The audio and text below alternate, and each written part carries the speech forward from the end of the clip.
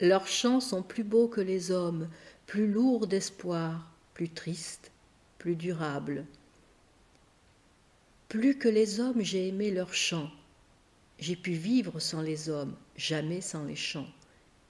Il m'est arrivé d'être infidèle à ma bien-aimée, jamais aux chants que j'ai chantés pour elle, jamais non plus les chants ne m'ont trompé. Quelle que soit leur langue, j'ai toujours compris tous les chants. En ce monde, de tout ce que j'ai pu boire et manger, de tous les pays où j'ai voyagé, de tout ce que j'ai pu voir et entendre, de tout ce que j'ai pu toucher et comprendre, rien, rien ne m'a rendu jamais aussi heureux que les chants.